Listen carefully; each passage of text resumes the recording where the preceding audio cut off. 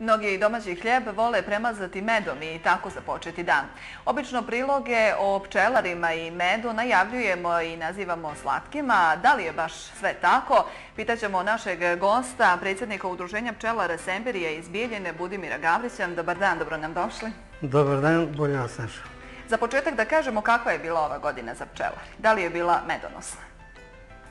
Ova godina je nažalost bila slabo medonosna ili bolje rečeno kad se posmatraju zadnje četiri godine, od toga su tri godine bile e, slabe u pčelarskom smislu.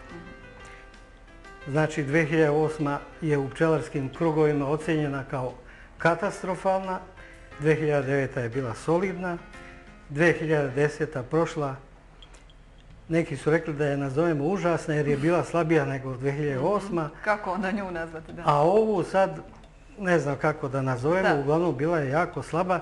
Negdje je bila slabija nego prošla godina, negdje je otprilike kao prošla godina. Mhm. Redko gdje da je bila kao ovaj, bolja nego prošla godina. Sad malo da razgovaramo o uzrocima. Zbog čega je to tako? Naravno, e, po mom mišljenju da, a i mišljenju većine pčelara, da su tu e, kumovale, da tako kažemo, klimatske prilike. Mhm. Jedne godine su velike suše, druge godine su bile velike kiše kao što je prošla godina, a ove godine je bila jedna kombinacija, dakle, e, kiše i suše. S tim da smo imali početkom maja za Đurđev dan mraz koji je pre svega bagrem koji je glavna medonosna biljka u našim krajevima smrzove. Znači bagrem je u dobroj meri uništen kao pčelinja paša. A nakon toga je bilo kiša u vreme kad nije trebalo, isto u vreme medobranja. Isto tako i kad je medila lipa, također jedna od ovaj, glavnih paša, također je bilo kiše. Inače za lipu ja kažem da ona traži malte ne laboratorijske uslove i to se najčešće u prirodi ne dešava. Međutim, mora se napomenuti da je kada je u vreme kada je smrzao bagrem, da je i ostala flora pretrpila štete od mraza, tako da je sve u svemu ova godina na kraju bila jako slaba, mhm. jako slaba. S obzirom na to da e, pčelari e, toliko zavise od vremenskih i spoljašnjih uslova, ima li nekih najava da će Ministarstvo poljoprivrede, šumarstva i vodoprivrede Republike Srpske dati i povećati možda posticaje za razvoj pčelarstva? Ja mogu sa zadovoljstvom da kažem da je Ministarstvo poljoprivrede unazad nekoliko godina odlučilo i dalo posticaj i pčelarima, odnosno pčelarstvu i to je stvarno za svaku pohvalu s tim da je nažalost svake godine i u ostalim granama poljoprivrede dosta problema. Dakle, nekad je kiša, nekad suša, poplave i tako dalje. Tako da se taj ukupan kolač koji se daje za posticaje mora deliti na mnogo grana. E, za ovu godinu je također najavljen posticaj. Očekujemo da će biti otprilike kao prošle godine oko 7 maraka po pčelnijem društvu. S tim da je određen limit e, za posticaj u, tu ovaj, vrstu posticaja mogu da se uključe samo pčelari koji imaju 50 i više pčelinje društva. Mhm. Ima nekih predloga od određenih Naravno, mi imamo predloga da taj limit bude znatno niži. Možda bi bilo najbolje da to budu obuhvaćeni svi pčelari. Međutim, za sada je tako, 50 društava najmanje. I recimo ove godine iz našeg udruženja je uslove za posticaj ispunilo negdje oko 80 pčelara i oni će ući u taj posticaj sa negdje oko 6,5 hiljada košnica.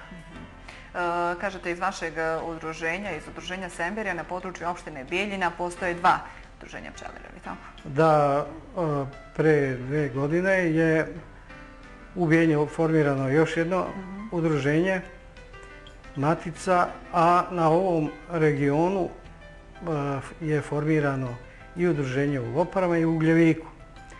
Inače, intencija je Saveza udruženja pčelara Republike Srpske da na teritoriji svake opštine bude po jedno udruženje i e, mi pčelari smatramo da je to najbolje, da tu pčelari najlakše i najbolje mogu da ostvare svoje, ovaj, svoje interese i ono što treba da im, recimo, lokalna opštinska uprava da im pruži. Ja moram da kažem da, recimo, ovde u okolini, u Brčkom, gde recimo postoje tri udruženja, opština isto tako daje određene posticaje za pčelare. Mi te posticaje nismo mogli da dobijemo na teritoriju ove opštine, iako je Savez uputio jedno pismo svim opštinama da se u tom smislu pomogne pčelarima i udruženjima na teritoriji svake opštine. Mi imamo dobru saradnju sa opštinskom upravom opštine Biljna, posebno u organizaciji manifestacije Dani meda u Semberiji, koja je svake godine u sklopu Pantelinskih dana. Da, nedavno je održano. I bilo je, znači, nedavno, 7., 8. i 9. augusta. Ali eto, te pozice još nismo ostvarili. Pa postoji li generalno na našem podneblju potencijal za razvoj pčelarstva i šta je uopšte potrebno da bi se neko bavio pčelarstvom? Na ovom području, u ovom podneblju, naravno postoje dobri uslovi za razvoj pčelarstva i pčelarstvo u Semberiji je poznato već decenijama. Mhm. Ovo naše udruženje je formirano pre 57 godina, mada, naravno, korijeni pčelarstva na ovom području su daleko, sežu daleko dublje u Mhm. istoriju. Hiljadama godina ljudi sakupljaju med. Naravno. Da. Ovaj, a šta je potrebno, pitate? Da, da bi se neko Da bi bavio. se neko Mhm. bavio pčelarstvom, pre svega potrebna je ljubav prema pčelama i tom hobiju, jer svako treba prođe period ovaj, bavljenja pčelarstvom iz hobija, a kasnije može to Da da, to preraste i u- profesiju. Mhm. Mi imamo nekoliko profesionalnih pčelara ovde, velikih pčelara na teritoriji Semberije. Drugo, naravno je e, neophodan uslov da neko ne bude ovaj, alergičan na uvod pčele, jer onda sigurno ne bi bilo dobro da dovodi e, bavljenjem pčelarstvom svoj život u opasnost. Ja se mislim da li da navedem primjer, ali iz nekih statistika na teritoriji Bosne i Hercegovine i, i širem području godišnje od uboda pčele više ljudi strada nego od ujeda zmije. Ima tu i više drugih razloga što ljudi se manje plaše pčela Da. i češće su u kontaktu sa njima nego sa zmijama, ali ovaj, znači ima dosta ljudi koji su alergični na uvod pčele, pa čak ima pčelara koji se godinama bave pčelarstvom, kao što je bio moj kum i bio jeste i sada, Zoran Jevđić koji je dugo godina bio pčelar i onda jedne godine kad je došao kod mene, pčela ga ubola i imao je silne probleme. Mhm, Eto, nije ni znao. E sad, generalno gledano nekako e, slabo ste zastupljeni u promociji i u distribuciji naših proizvoda u odnosu na druge zemlje. Postoje li neke tendencije da se možda uvede i neko brendiranje u ovoj vrsti posla? Na tom planu najviše rade pčelari iz Hercegovine, jer je hercegovački med specifičan i već je više poznat u svijetu, na svjetskom tržištu, evropskom. Pre svega, ali nešto bi se u tom smislu moglo organizovati na ovom području u Semberiji, e, jer se na ovim terenima, na ovim prostorima ovaj, dobija jako dobar med. Mhm. Jako dobar. Da. E sad, e, ja bih nešto pročitala, ja sam pronašla pa mi je evo bilo zanimljivo da evo možda e, naši gledalci nisu znali da pčele ne čuju, to jest nemaju razvijeno čulo sluha uz razvijene osobine očiju pomoću kojih uspješno raspoznaju boje.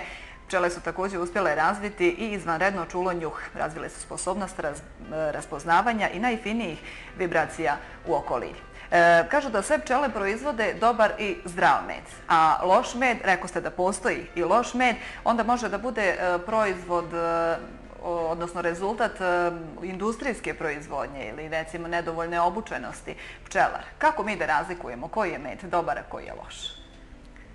I na ovoj manifestaciji zadnjoj koju smo imali Dani meda u Semberiji, postavljeno mi je takvo pitanje.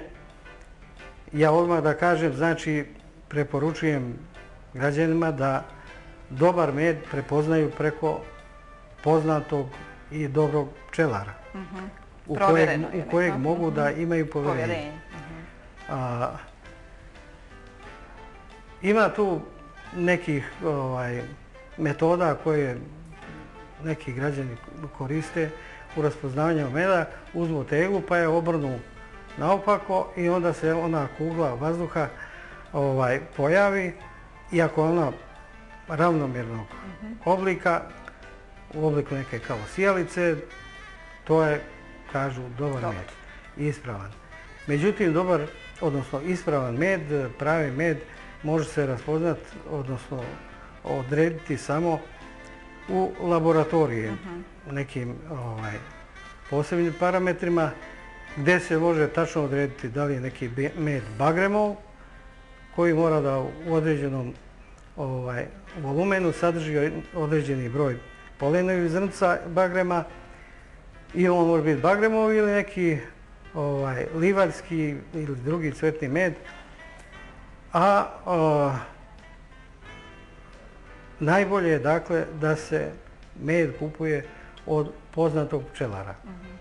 Ovaj, postoji još jedna karakteristika da pravi med, znači može da se uzme kaščicom, podigne se od posude iz koje je uzet, najčešće iz tegle, i onda ako je ona ovaj, nit koja se cedi sa kaščice dole na posudu, neprekidna, tanka, neprekidna, bez obzira koliko je tanka, onda je to pravi med. Ako se cedi onako u prekidima, e onda to Nije to to. Nije pravi med. Ja moram isto jedan primjer da navedem. Prije dve godine kad sam išao na more, onda sam dole u dolini Tare stao i da kupim jedan kilogram meda od onih pčelara tamo.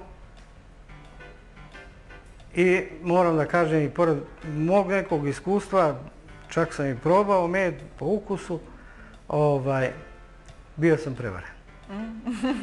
Jesam. Znači, još jedan put uzimati med od poznatog i pčelara u kojeg možete biti ovaj, sigurni. I tad nema greške.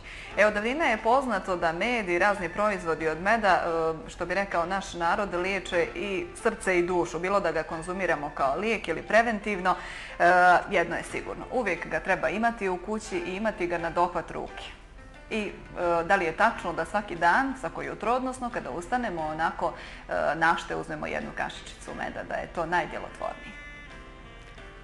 Da, a, med treba kao i ostale ovaj, artikle hrane imati negdje na dohvat ruke najbolje, ovaj, negdje na stolu ili gdje nam je najbliže. Inače, ako se ostavi negdje u ostavi, Zaboravi se, da. onda se to zaboravi i ne uzima se. Ja recimo konzumiram svaki dan e, svešu polena i meda.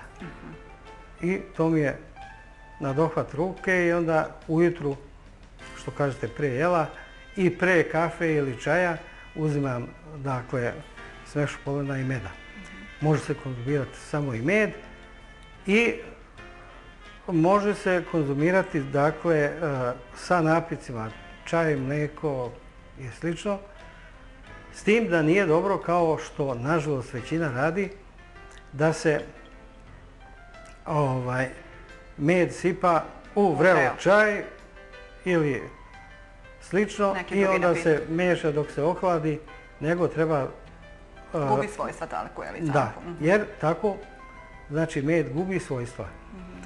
Polen isto tako. A, nego treba, znači, tek onda kad možemo da pijemo taj napitak, da je dovoljno mlak, e onda se dodaje med ili već, već šta dodajemo. E, to bi bilo jedno od mojih pitanja za kraj, već kad smo krenuli o tim predrasudima, to nije predrasuda, Da, dakle to da. je e, činjenica. Pa sam onda još, e, vjerovatno i vi e, nailazite na takva pitanja. E, Šta vas još najčešće pitaju, a da je predrasuda? Da li je tačno da metalnom kašikom ako uzimamo med da gubi svojstva? Pa onda isto kažu ako medu šećeri, da li je tad dobar, da li je to znak da je dobar ili da nije dobar? Puno je pitanja, da. Jeste, puno je pitanja, ali e, ja bih počeo od ovoga Mhm. da se med ušećeri. Da, Prirodno svojstvo meda je da on kristališe ili kako se u narodu najčešće kaže da se ušećeri. ja sam čula da je Naravno- baš taj med dobar. Molim? Ja sam čula da je baš taj med koji se ušećeri, Ja- da je on dobar. Lično najradije koristim lipov med i on se brzo kristališe, to je njegovo svojstvo da se kristališe već do jeseni. E, najle- najlakše ga je koristiti jer on ne kapa sa kaščice i tako dalje. A znači prirodno svojstvo meda je da kristališe. Najlakše kristališe lipov med, livarski med, kestenov med i tako dalje. A od ovih medova koji su kod nas poznati, manje je ovaj, sklon kristalisanju bagremov med, što je čistiji u smislu da je monoflorni, ovaj, čisti bagremov med, onda on može bude i tri godine da ne Da ne kristališe. To opet zavisi znači, od vrste meda u suštini. Da. Ovaj, e, naravno da e, nije dobro da se baš uzima a, med e, i ostali pčelni proizvodi metalnom kašikom, nego najbolje drvenom ili plastičnom, jer u kontaktu sa metalom Znači ipak ima dolazi. Mhm. dolazi do nekih ovaj, procesa čime se neutrališu pozitivna svojstva meda. I još na kraju, vezano za ovo pitanje, da kažem, mi smo dobili od Saveza jedan priručnik e, o dobroj pčelarskoj praksi, gdje stoji, e, to je preuzeto sa zapada, konkretno ovaj priručnik iz Francuske, da je obavezno na svakoj tegli meda, odnosno svakom pakovanju meda, naznačiti da je rok upotrebe dve godine. Eto. Pa onda da ne zbunjuje potrošače zašto dve godine e, kad je med konzuman i probali su ga oni kad su pronašli med u piramidama Da, da. i nakon hiljadu godina i više med je bio i dalje sladak, sve u redu, ali prirodnom razgradnjom med u toku jedne godine izgubi 25% onih svojih hranljivih materija. U drugoj godini još 25, to je znači Već 50 znači polovina, da. i zato je obavezno napisati da je rok upotrebe dve godine. Neki pčelari se toga još ne pridržavaju, ali Ali ovaj, su ući će i to u praksu. I eto to. To je to. E, hvala vam što ste nam to razjasnili, hvala vam na ovom gostovanju i ja vam želim evo, sve najbolje. Hvala i vama.